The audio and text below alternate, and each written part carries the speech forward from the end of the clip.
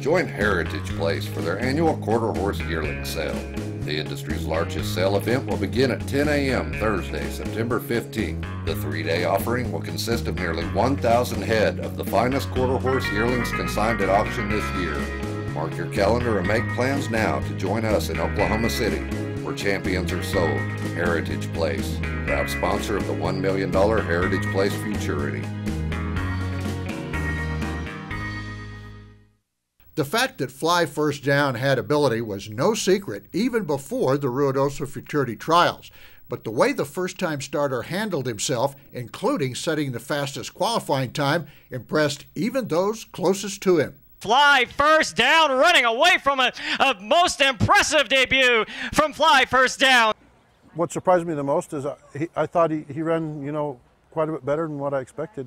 Um, you know, I thought he'd do good but you know he did he did more than good. You know, he looked uh, he was superior, and uh, he you know he just ran like an old horse. He, you know he looked like a like a four-year-old running down through there. He did everything perfect and ran out of the outside and handled that perfect and just went off and left the field really super impressively.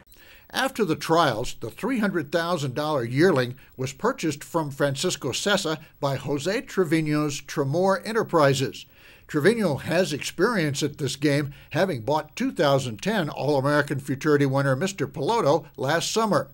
Assistant trainer Lisa Saumel thought Trevino made a smart buy on a smart horse. This horse has really got his head on his shoulders, this horse does. He did at the ranch when we had him and we were we were doing qualifies down there. He doesn't make very many mistakes.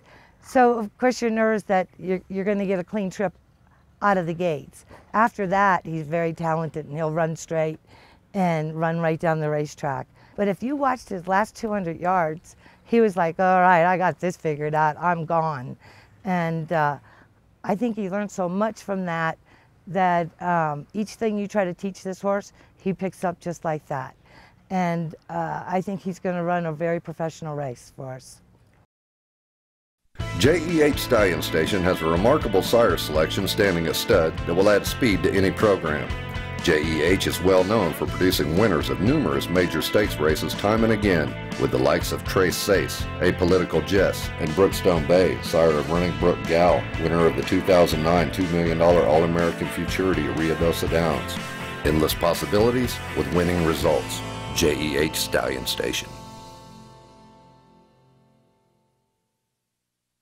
Travel accommodations provided by La Quinta Inn Ruidoso, the horseman's home away from home.